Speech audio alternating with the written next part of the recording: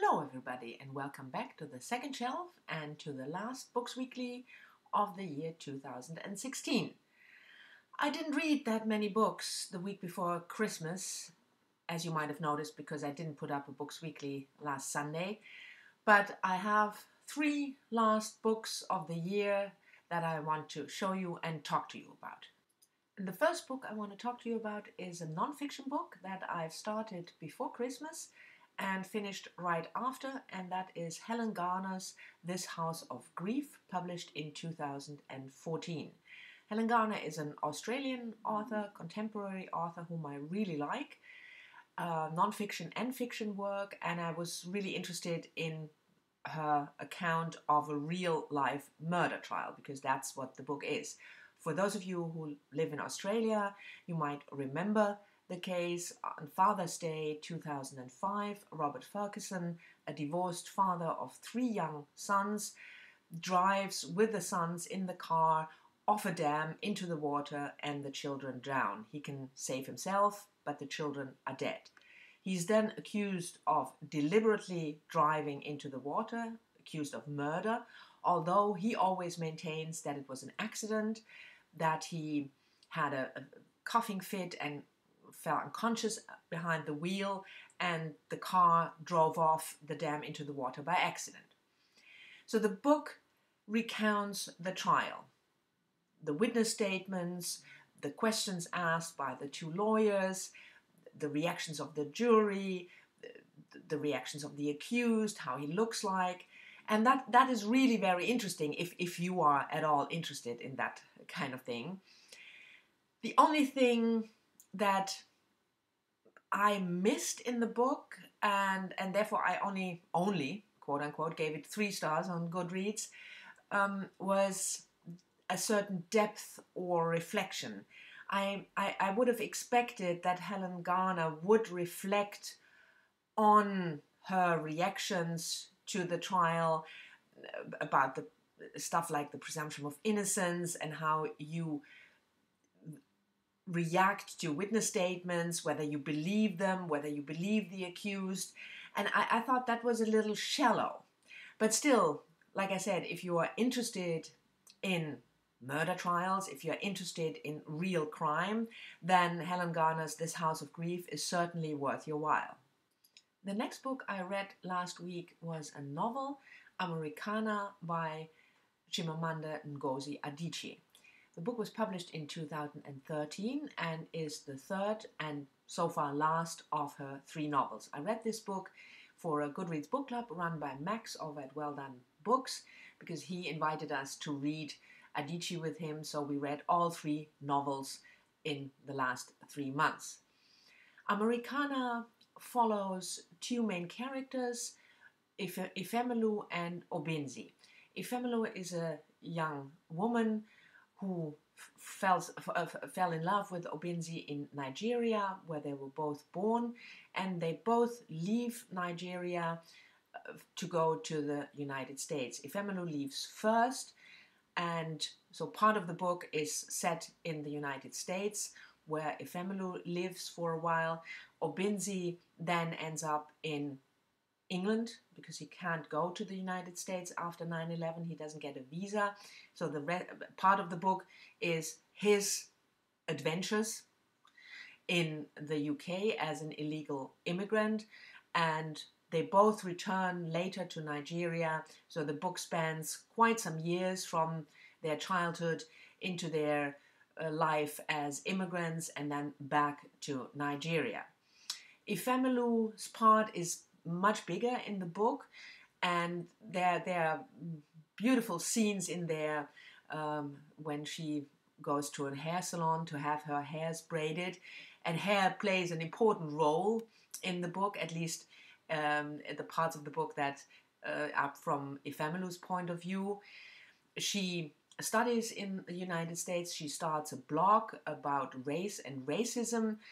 Um, parts of the blog entries are also included in the book.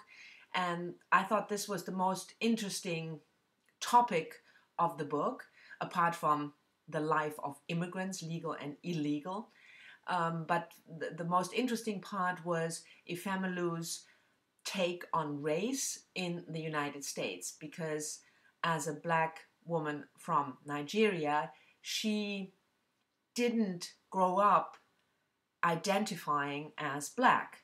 She started identifying as black when she uh, lived in the United States, and the difference between how black people identify themselves and identify race and uh, deal with race when they are born in the United States in opposition with people who come from from Africa like Ifemelu that is really really very interesting and also Obinze's part although he's a little bland in the beginning but his life as an illegal immigrant in the UK is is really heartbreaking.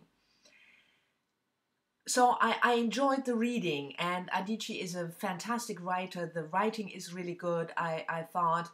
But when i finished the book i wondered why it didn't i don't know it didn't grab me as i thought it would. And and um, when when thinking about it and reflecting upon it i thought that for me americanah was a fantastic book as a topical read for, for certain if you're interested in certain topics, like I said, immigration and race and the difference between American, uh, the, the, the American framework of, of race uh, and, and how that is looked upon if you come from, from Nigeria.